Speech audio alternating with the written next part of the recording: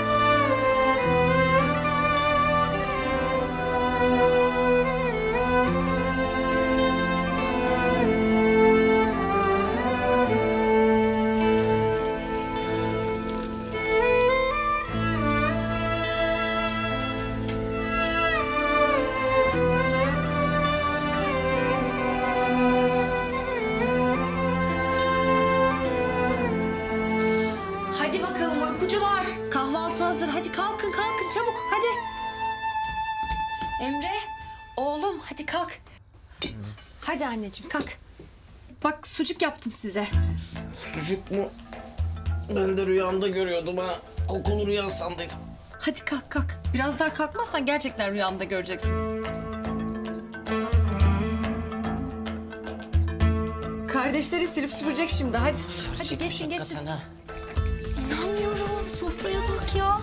Anne ne yaptın sen? Geç otur hadi geç. Krem çikolatalı ekmek de var. Hadi ben çay alıp geleyim.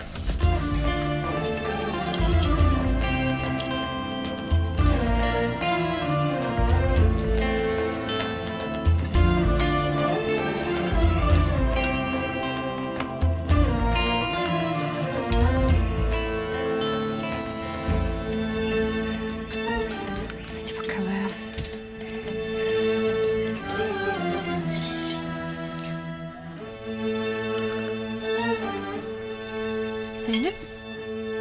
Kızım sen ne yemiyorsun yavrum? İştahım yok benim. Alışkın değil ya midesini bozar diye korkuyor. Olur mu hiç öyle şey? Hadi al bakayım. Al.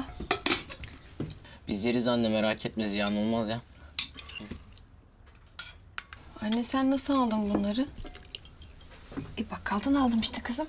E, onu demiyorum yani hangi parayla?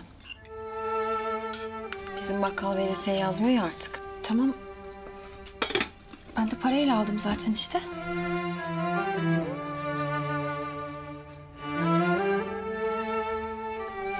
Anne. Patronun maaşını ödememiş. Para vermedi kötü adam. Şikayet ettim onu ablam. Yavrum ben sonra bir kısmını aldım paranın. Siz merak etmeyin hadi. İyi valla öyle kavga dövüş ayrıldığın bir patron. Hele ki o aksi herif nasıl verdi? Kızım hadi aç bakayım ağzını. Uçak geliyor. Uçak uçak uçak uçak. Uçak uçak. Am. Aferin sana. Bunlar bir de bizim bakkaldaki ürünlere çok benzemiyor da. Abla sen de bir tuhafsın ha. 40 yılda bir adam gibi yani burada kahvaltı yapacağız ortamı geliyorsun. Yüzümü niye bana sorma işte. Sen sus Cemre. Anne. Nasıl aldın söyle.